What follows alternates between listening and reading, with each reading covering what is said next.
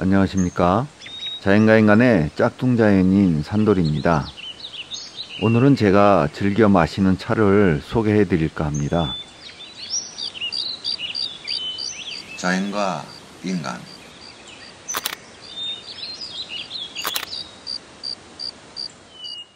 이 차가 나의 건강 지킴이 역할을 하는 차입니다.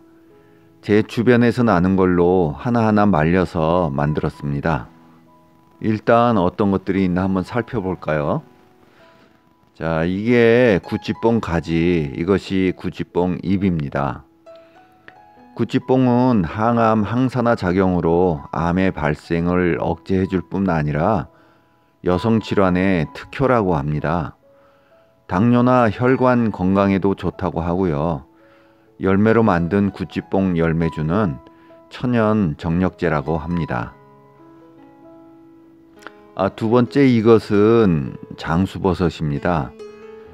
장수버섯에는 렉틴이라는 항암 치료제 성분을 축출하여 사용할 만큼 항암 면역 활성력이 뛰어난 버섯입니다.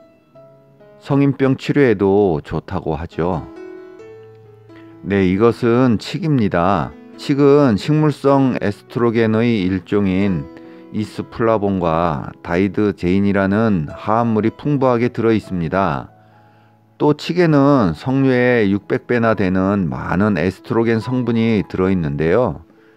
갱년기 여성들의 뼈 건강에 좋은 효과가 있다고 합니다. 아, 그리고 이 밑에 있는 것은 표고버섯 줄기입니다. 표고버섯 줄기는 질겨서 먹진 않고 이렇게 차로 끓여 먹습니다. 표고버섯은 미국 식품의약회인 FDA에서 10대 아, 항암식품으로 권장하고 있습니다. 표고버섯에는 섬유질과 광물질, 비타민 B, 단백질과 아미노산 등 다양한 영양소가 많아 불로 장수식품으로 알려져 있습니다. 다음에 이것은 운지버섯인데요. 운지버섯에는 면역 활성 물질이 들어있어서 세균과 바이러스로부터 신체를 보호해 줄 뿐 아니라 바이러스에 대한 체내 저항력을 높여주어 면역 기능을 활성화해 준다고 합니다. 또한 황산화 물질이 풍부하여 항암, 항염 작용이 뛰어납니다. 그리고 이것은 잘 아시다시피 대추입니다. 아, 대추는 몸에 좋다고 알려져 있는 열매이죠. 네, 대추의 뛰어난 효능은 노화 방지와 항암 효과 그리고 불면증 개선과 심신 안정에 효능이 있습니다. 마지막으로 이것은 백소인데요. 백소는 특히 갱년기 여성에게 좋다고 합니다. 백소는 몸을 따뜻하게 만들어주고 아, 혈액 생성에 효과가 있다고 합니다.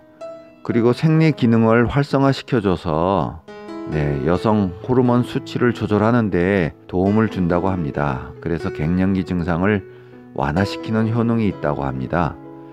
네, 백수호는 남성들에게도 아주 좋은 효능이 있는데요.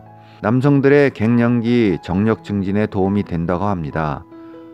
네, 그리고 콜레스테롤 수치를 낮춰줘서 심혈관 건강에 크게 도움을 준다고 합니다. 아, 이렇게 8가지 재료에 대한 효능을 알아봤는데요. 한결같이 전부 몸에 좋은 성분들이 많이 들어있네요. 언제나 이 8가지로만 차를 끓이는 건 아닙니다. 이 중에서 떨어지면 빠지기도 하고 또 다른 걸 첨가하기도 합니다. 그때그때 주변에서 구할 수 있는 것으로 차를 만들어 먹는 것이 중요합니다. 차 재료를 직접 구하여 차를 만들면 좋은 점이 있습니다. 그 첫째로는 오염되지 않는 차 재료를 구하여 쓸 수 있다는 점이고요. 두 번째로는 아, 경제적이라는 거죠. 아, 그럼 어떤 분은 이렇게 말씀하실 거예요. 당신이야 시골에서 사니까 손쉽게 구해서 쓰지 도시 사람들이 그걸 어떻게 구하여 쓰냐고. 네 그렇게 말씀하실 수 있겠죠?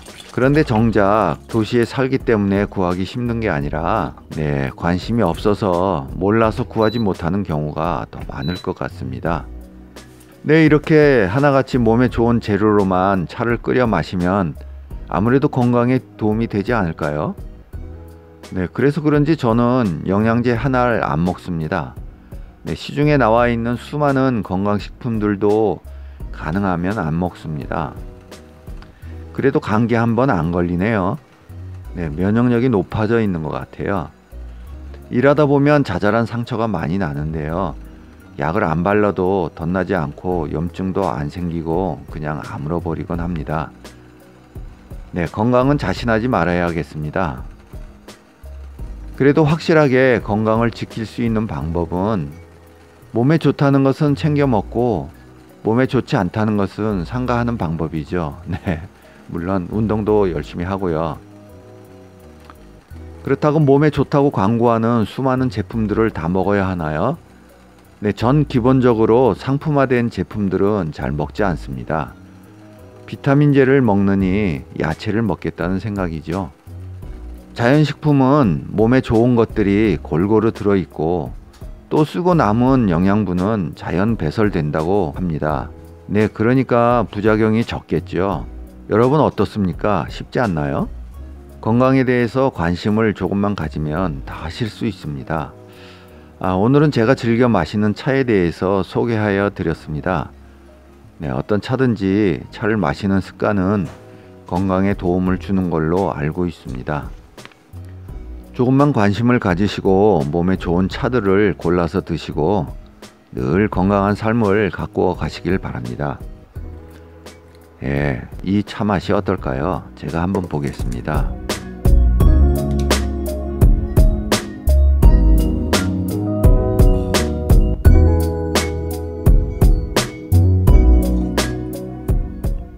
여러 가지 맛이 나는군요. 뭐 향긋하진 않지만 여러 가지 맛이 섞여서 깊은 맛이 납니다. 그래도 몸에 좋은 거니까 열심히 마셔야겠습니다. 감사합니다.